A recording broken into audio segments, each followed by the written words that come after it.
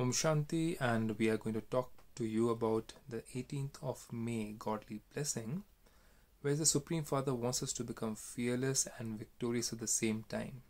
What method do we use to attain that victory and become fearless is what we're going to explore over here. And how do we become a Mahavir, great victory being, a being who has great victory in his life or her life? So, how do you become a Mahavir who's never ever defeated by anybody? So, God says in the blessings heading, May you be constantly fearless and victorious and find a solution to every problem by becoming a Mahavir. So, those who are Mahavirs, great warriors, great victorious warriors, can never make excuses such as the circumstances were like that, the problems were like that, which is why they were defeated. So, here we are talking about getting defeated by lust, anger, greed, ego, attachment, jealousy, hatred. So, these thoughts, if they come to our mind, and if we take decisions on the basis of these thoughts, then they become impure karmas and we get defeated. So it is the duty of the problem to come. And the duty of you Mahavirs to find a solution to the problem and not be defeated.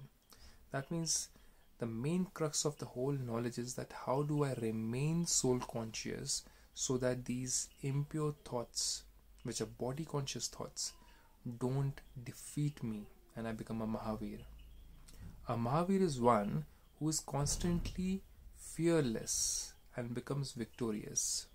So somebody, a soul who's practitioner of meditation or Rajyoga meditation, Brahmakumaris, and suddenly has the thoughts of anger or ego and succumbs to it and doesn't find a method which has been taught to us by God that I am a peaceful being, I am an ancestral soul who was a divine being, and I don't have any desires from anybody in this world, so obviously I won't get angry. I have no attachment to things in this world, so if anything gets lost because of somebody's mistake, it doesn't bother me. I am so detached, but at the same time attached to the Supreme Father, Supreme Creator. So do not become weak in trivial situations, small situations. The minds of victorious Mahavir souls stay happy at every physical step. That means when you walk along in your life, any situation, any person, anything cannot defeat you. You have no emotional connection to anything, you're not attached to anything which can bring you down. Only when we have got some kind of attachment of our self worth to anything or any person or any title, that when somebody tries to defame that or tries to snatch it away from us that we get angry or egoistic or jealous and that's where we can get lost into the impure alley. So god says they are never sad. Waves of sorrow cannot come to them even in their dreams. So nothing can affect them. I'm a soul and the practice of being a soul or being soul conscious makes me not attached to anything. I find a solution with godly virtues, godly powers, and that's the basics of my victory. That's what we practice in Brahma Kumaris, and over a period of time, we start gaining victory.